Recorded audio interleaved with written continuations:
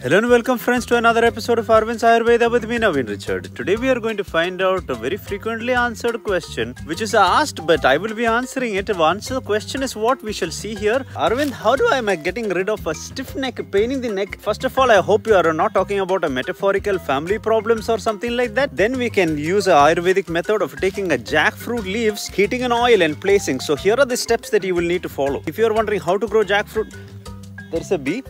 So first what we need is to get some ripe jackfruit leaves which is of a yellow color for which first you need to get a jackfruit seed and plant in the ground waiting for about 20 to 30 years and don't worry we already have a prepared and kept a 30 years ago jackfruit tree to not waste time. Here is a jackfruit tree of 30 years ago organic jackfruit. So what we need to do is find a find a yellow color yellow color almost a ripe jackfruit leaf put it in pocket. Here some more we have put it in pocket. This is brown we can choose a yellow one put it in pocket. In case you are suffering from a color blindness don't worry. We have already sorted out what you need to do. If you are not sure if it's yellow please wear something like yellow color shirt.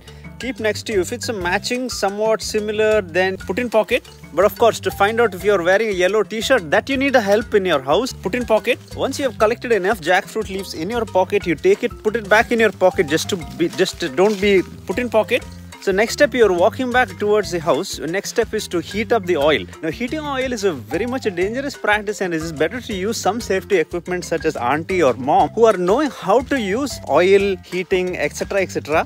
When you're entering a kitchen, do not drop the jackfruit leaves in the first boiling oil that you can find because it could be just they're preparing lunch or something.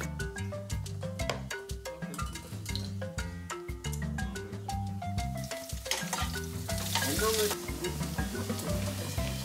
late. ആ ആറിപ്പോയി ആറിപ്പോയി പെട്ടെന്ന് ആറിപ്പോവും ചൂടിപ്പോയി ഇല്ല അധികമല്ല ആ only- Ah!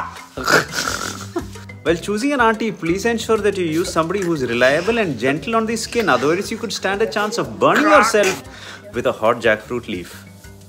Okay, it's not so bad.